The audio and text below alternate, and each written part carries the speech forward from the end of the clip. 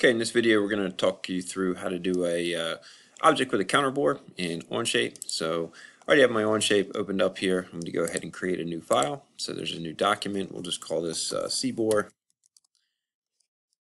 Hit OK. And once the uh, drawing space opens up, we'll go ahead and grab the sketch tool and I'll go right ahead and grab the front view.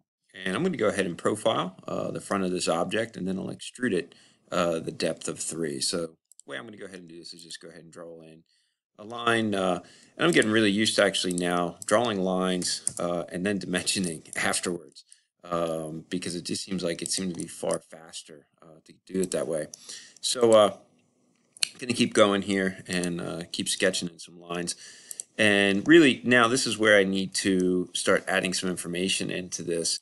Uh, I need this to actually be a specific distance because I want to set the radius for this outside arc at this point in time because the center mark of this front face is in relation to this outside arc. So I'm going to go ahead and set this up at 1 and 5 eighths.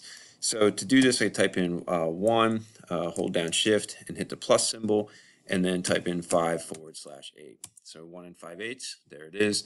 Then I can go ahead and grab my circle tool, and I can just pull out uh, to this point because this is the radius that I'm drawing. That's going to create the arc for the top of my uh, drawing. Now what I can do is go ahead and set up the height, uh, which is 3. So I position this into 3. And I can go ahead and just draw a line in here and just continue to sketch this out. Uh, and I can be actually fairly, I don't want to say rough with the sketching because I know this is going to go tangent. So I'm going to grab my constraint tools here, grab my tangent tool, grab the line, grab the circle, and it jumps into position. Then I just need to know that I need to position the thickness of this part here. So this is going to be uh, uh, 1.125, or I could have typed in 1 plus uh, 1 eighth, but I know that conversion.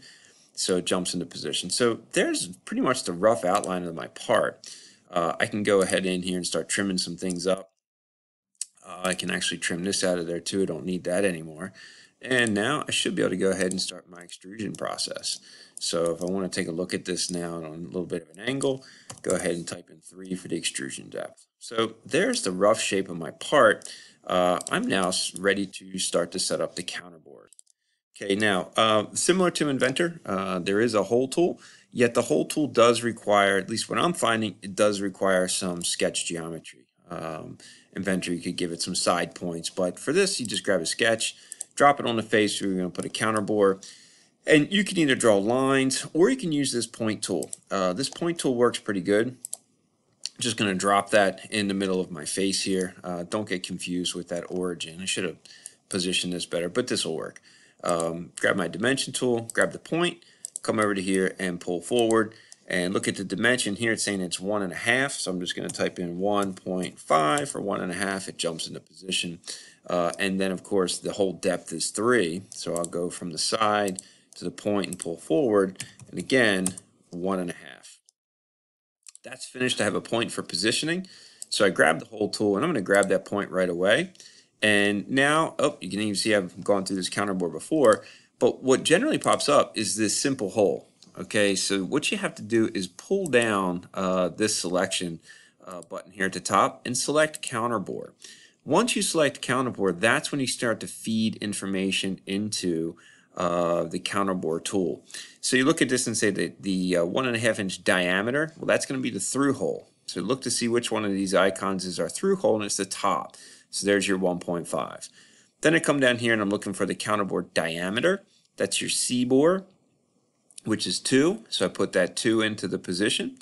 Then we're looking for the depth. Well, here's deep, so that's a half inch deep. So that sets this up as your half inch depth. And then this is the through hole. How far does this go through? Well, you can see that it goes all the way through the part. Okay, so what we can do here is uh, 1.125, that's one and an eighth, and that sets up the counterbore. So there's that counterbore. Now we need to set this counterbore up. So I'll go ahead and grab my sketch tool, drop it onto the face, grab my uh, point tool, and now I'm hoping that uh, what's going to happen is it's going to find center. Well, there it is. That's my center. So I drop the point on the center, finish the sketch, grab the hole tool, grab the point, hopefully, yep, there it is, finds that counterbore. Uh, and then I can go ahead and uh, set this up. Now the depth on this is going to have to be different Full depth is going to be three inches. It's going through the entire part.